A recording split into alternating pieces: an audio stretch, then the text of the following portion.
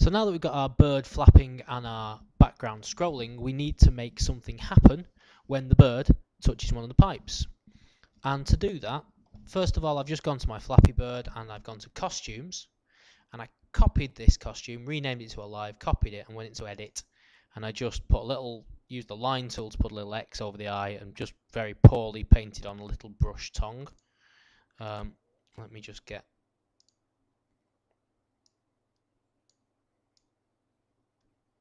There we go.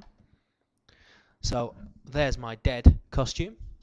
So on our scripts for Flappy Bird, when the green flag is clicked, go to, we're going to use our go to script for this, and we want to make sure that it switches to costume alive. Then we want a forever loop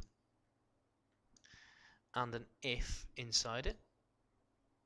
And if our sensing block is touching color.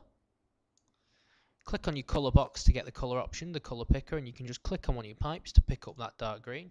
If touching color green, switch to color, uh, switch to, so back to look, switch to costume, dead. And we also want it to glide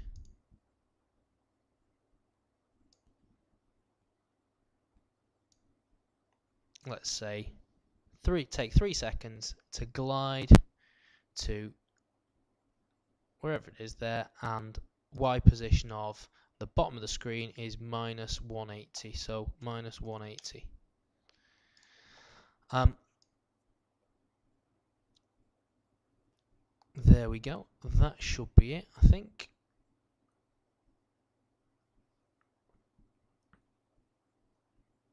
Let's try it try and crash into a pipe. Shouldn't be too difficult. There we go. And there.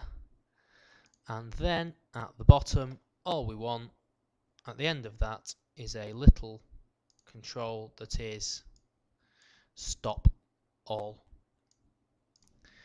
And that looks like your basic Flappy Birds scratch game. Let's just test it out, see if I can get through a gap. No, can't get through a gap, so I'm dead, just like I'm on the real thing. Fantastic. The one thing I haven't worked out yet is how to get it to count how many pipes you go through. So if you can do that, then extra bonus points to you.